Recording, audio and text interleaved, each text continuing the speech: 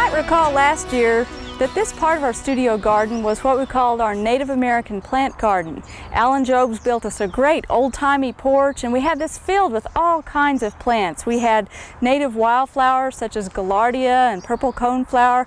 We also had native grasses here and some small native shrubs. It was very interesting. But of course in our studio garden we like to change the themes every year just to keep people interested and so forth. But we thought we'd stay with the historic theme and so this year we're planting an Oklahoma homestead garden that old-timey porch just made us feel like we need to recognize the struggles that our forefathers um, had to go through in planting gardens. And so we've taken the liberty of uh, pruning one of our apple trees fairly severely and making teepees. And I want to go through some of the plants that we have in here and why we have them in our garden. And we've done three tall teepees out of apple tree prunings and homesteaders would have used whatever was nearby. They would have gone down to a creek bank and got saplings or maybe gone and gotten some river cane and tied that together to plant pole beans, peas, and other climbing plants. And so what we have in here is uh, a variety of peas we've already planted called tall telephone. We've planted Kentucky Wonder beans and I'm sure you're fam familiar with Kentucky Wonder and that was grown back in the late 1800s, early 1900s. And then right here I've got speckled cranberry beans. Now the settlers when they first moved in uh, out onto the open plains, the first thing they did was build a sod house and then they would do a garden because they didn't have a grocery store right around the corner. And so not only would they plant Kentucky Wonder beans for fresh use and for canning, but they grow dry beans too. And these uh, Vermont cranberry or speckled cranberry beans would have been just the ticket to grow and harvest dry and store through the winter. They'd be a good source of fiber and protein for them through the winter time. We're going to give them a little extra boost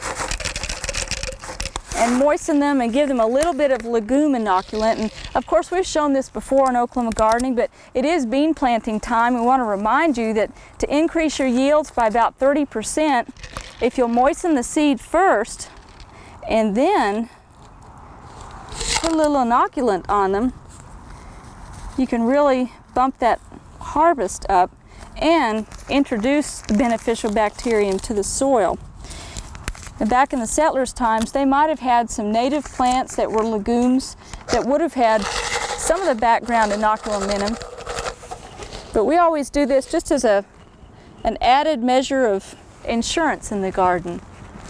Now, if you're going to cut poles to make tripods like these, make sure that you secure them down in the ground real well. We have we loosen up our soil real well, and we have our poles about a foot down in the ground and they're tied up at the top real securely. In fact, we've tied some twine among the three at the top just to, to steady them up a little bit, just in case we get some real strong winds. And I've seen heirloom gardens where they have put teepees in a long straight line and indeed have strung some, some type of twine among them just to stabilize them a little bit. Well, as those come up, they should twine among these apple branches. We'll be able to sow some leafy salad crops under there this summer because it should be somewhat shaded. Right here we've sown Stowell's Evergreen sweet corn.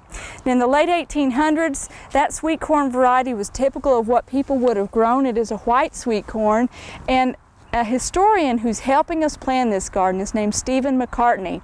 And Mr. McCartney's specialty is studying plants that would have been grown between the 1880s and 1910 in gardens.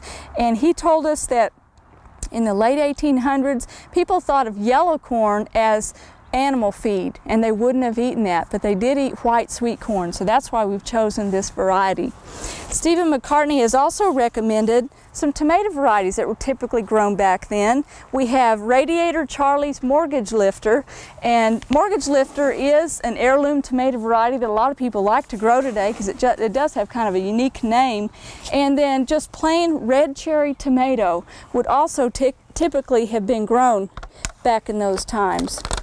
We have some that we started ahead, ahead of time and rather than use walls of water and tomato cages and all those modern conveniences, we'll be tying these up to a stake because that's typically what might have been done in a homestead garden or they might have let them just be sprawling on the ground. The back over here, one native shrub we've left is our wax myrtle. And if you were homesteading in southeastern Oklahoma, you would have valued one of these in your garden for the berries that could have been used to make bayberry candles. So we decided we'd leave that in place. Then back here we've put in some small seedlings of salsify or oyster plant and this is um, in the same family as carrots and parsnips and the settlers loved this plant because it tasted like oysters and people were oyster crazy in America in the late 1800s so they'd grow anything that would taste a little bit like them. Now over here on our lattice work, in a couple weeks we'll be sowing some seed of cucumbers and we'll have two varieties, Boston pickling and West Indian gherkin.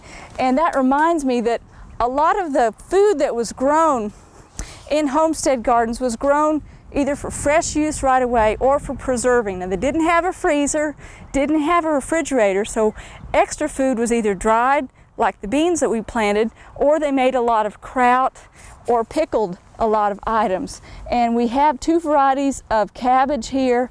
We have early Jersey Wakefield, and we also have Danish ballhead. Now those are two varieties that typically would have been grown back then. And one point we want to make is you can duplicate a garden like this in your own backyard and think about your ancestors and have access to those very same varieties today. These are very widely available ones that we've chosen that you could get at probably most any feed store or garden center. Now over here, they would have wanted some fresh spring greens and uh, we've talked about corn salad or mâché before, and that's over here. We've just sown a fresh crop of it, but we have some back over in our raised bed garden. And if you recall, in our winter salad garden, the corn salad was the most cold hardy. We're hoping it will also be somewhat heat tolerant as well, so we've sown some of that. Also, the settlers grew a lot of endive. It was a little tougher than some of the lettuces that we grow today, but would give the same lettuce um, texture and, and flavor for salads and so forth. And then right here, I've plunked in a dandelion plant. And our studio grounds crew is about ready to shoot me when they saw me go dig this up before we started taping and put this in. But want to keep in mind that uh, homesteaders ate a lot of dandelion greens, especially in the spring, late winter and spring when they're coming up.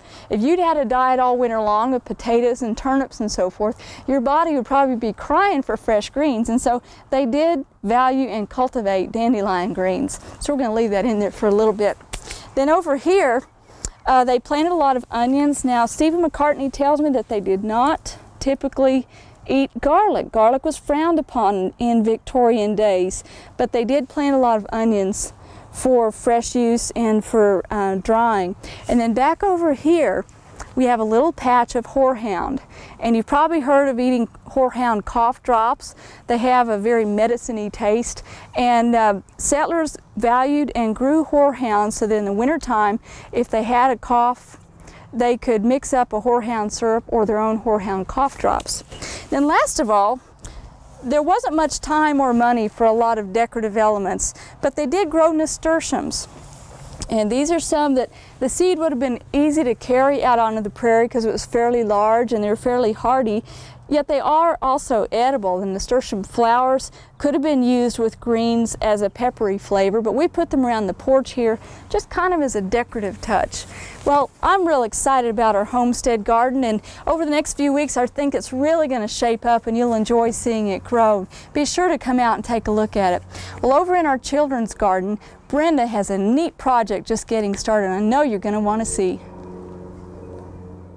We hope you enjoyed this video. It's part of our OK Gardening Classics YouTube channel. You can also find more recent videos on our Oklahoma Gardening YouTube channel.